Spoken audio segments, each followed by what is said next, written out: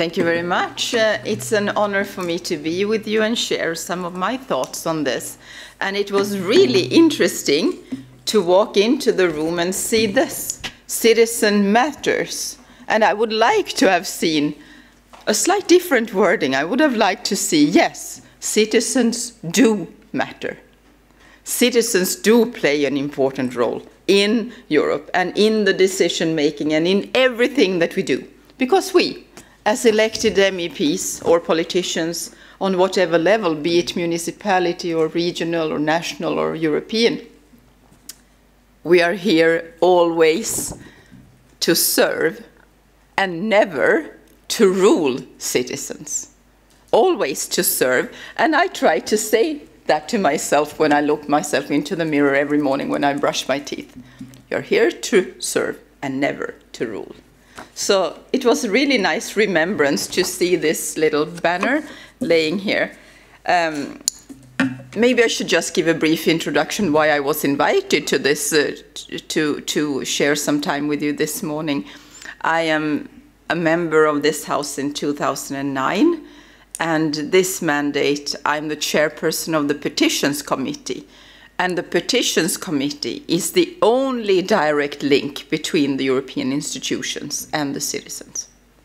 Unless you're fortunate to live next door to an MEP, that is. so we are, what we're doing, trying to do in the Petitions Committee is that there is a gap. There is a wide gap like this, where citizens are here in the 28 member states and the elected ones are here. And there is a gap in between. So what we are trying to do is to sort of bridge the gap between citizens and the European institutions. It's easy to say, but believe me, it's difficult to do. But at least this is the intention. Not every national parliament have a, a, petitions committee. In Sweden, for instance, where I'm from, we do not have one. Um, in, in other countries, I met just the other day the Scottish Petitions Committee, and excellently elaborated. Um, so things are different out there in, in, in the different European member states. So, I think I'll come back to what happened in the, in the last elections in, in, in May this year, where we must admit, even if it's difficult, that we're all losers we're all losers. Every party lost. Every, that is, every party based on an ideology lost. And the parties that are based on something else, but not ideology. Could be liberalism, that's preferable, of course, to me and to Mr. Maura, but could be also, could be socialism, environmentalism, conservatism, Christian democracy, could even be communism. Those are built on an ideology, and we all lost high time. And the ones that are built on hatred and skepticism towards Europe and, and what Europe stands for, nationalistic, xenophobic, they gained in numbers. So we should really keep this in mind all the time, that we're all losers. And what we should do is to realize the gap that I was trying to, to start with, the gap between the elected ones and the institutions and the citizens on the other hand. Because they feel that there is a huge gap, a big distance. On the other hand, I'm from Uppsala in Sweden, and if I if I'm walking in the street in Uppsala, say, ah, you're so far away, you're in Brussels. Yeah, far away if you consider two hours and ten minutes far away. And they say, ah, we don't know how many you are, how many Swedes you are in the European Parliament. And I say, we're 20. Ah, we don't, we, of course we know you, but we don't know the others.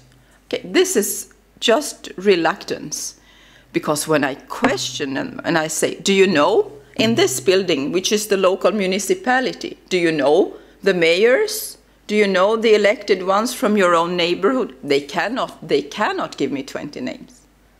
So to blame Brussels is a normal way of just saying it's too far away, we don't care.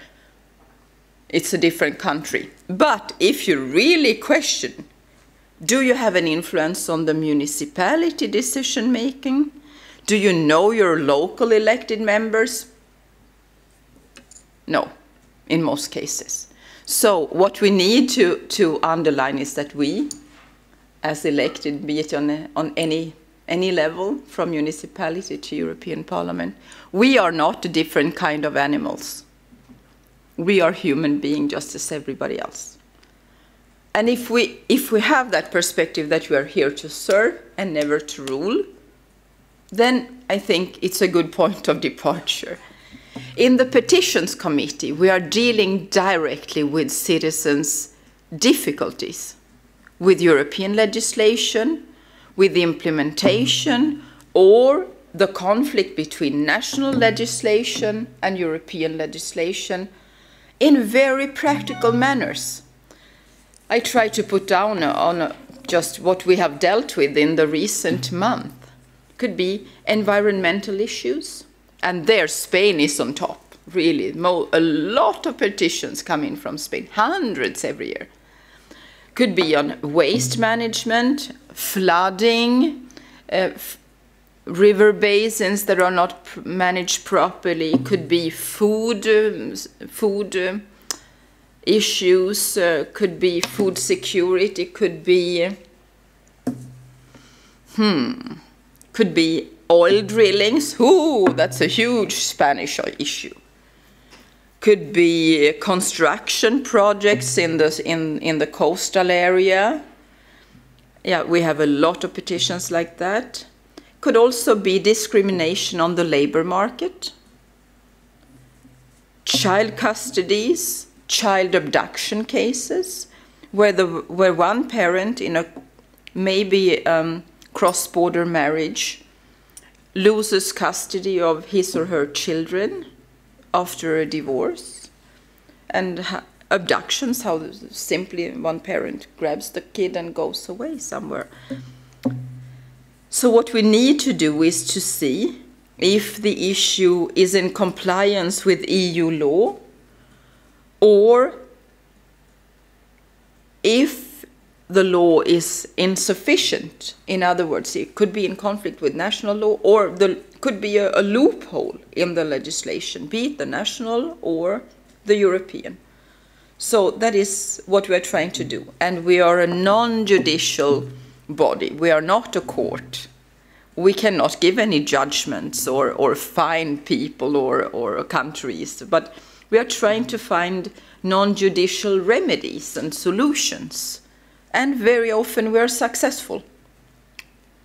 Just the other week, I sent myself a letter and I signed it by hand to a president in a member state concerning an access to to medical uh, medical aid um, where the national authorities were actually in breach with national legislation and uh, and uh, this the person's um,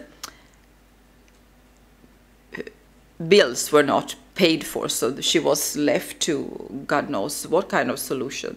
So she she sent this all to us. I, I wrote to, to the president in person and said this is this has now happened, and this is a, a, a very obvious case where national legislation has not been applied according to a court ruling that we had that was a precedent court ruling and only a few weeks after uh, we got a, a positive reply saying this will be taken care of.